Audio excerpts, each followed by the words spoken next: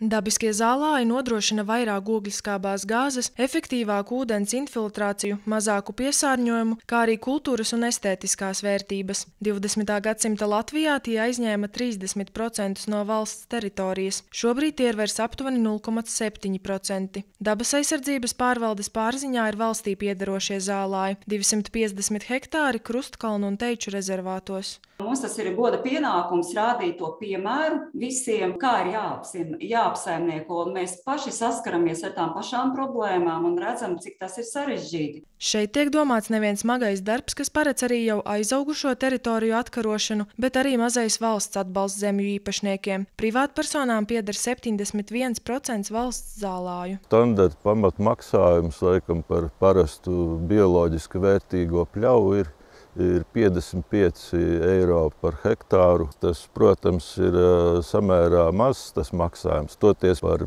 pirmo klasi maksājums ir lielāks, 83 eiro, un, un, un augstāk pa klasēm jau lielākais maksājums pie 4.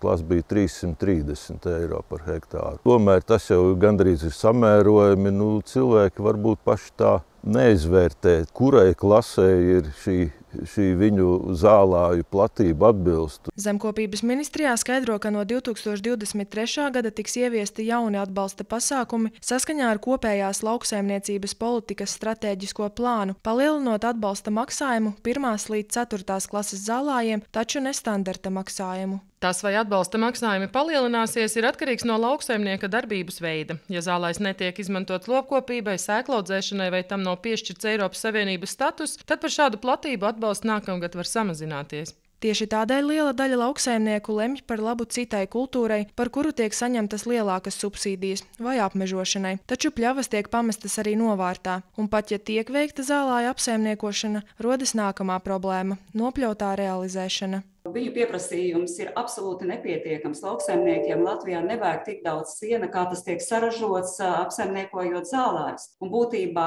valstī dienas kārtībā ir ļoti nopietnas uzdevums attīstīt iniciatīvas par zāles granulu ražošanu, par sadedzināšanas iekārtu un iespējams arī varētu runāt par kaut kādām kompostēšanas metodēm. Zemkopības ministrijā atklāja, ka šī jautājuma izskatīšana šobrīd nav viņu dienas plānā. Tikmēr dabas aizsardzības pārvalde uzsver, ka turpinās šīs tēmas aktualizēšanu un cer kādu dienu dzirdēt, ka pļava apsaimniekošana ir arī valsts prioritāšu sarakstā. Ramons Zerņēvis Cāzars, RTV.